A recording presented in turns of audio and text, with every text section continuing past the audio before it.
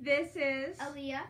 Skylar. and Mrs. Leggett reporting to you from the Central Studio. We are so happy for you to join us today. Today is May 8th, 2020. Please stand for the Pledge of Allegiance.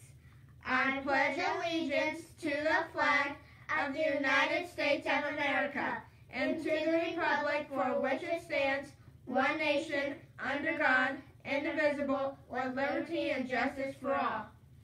Lunch and breakfast pickup will begin again on Monday. It's birthday time! Happy birthday to our music teacher, Miss Bean.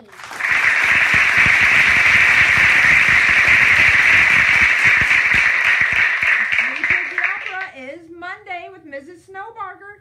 Keep looking back at our central Facebook page or the parent newsletter, and the songs don't have to be memorized. Come have fun. Have you ever seen a snail drinking from a pipe? Let's take a look at this clip from Nature is Lit. Wow.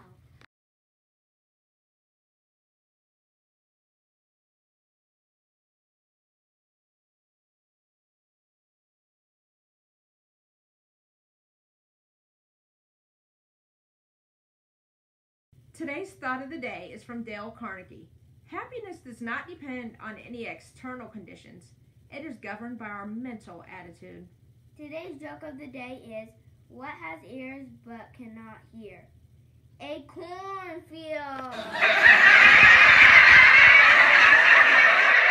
Today's fun fact of the day is pineapples take about three years to grow into mature fruit.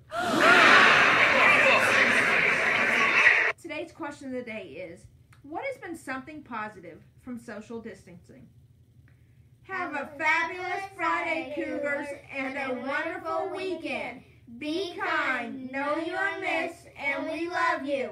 Be a positive leader. Make today count and remember, Cougars!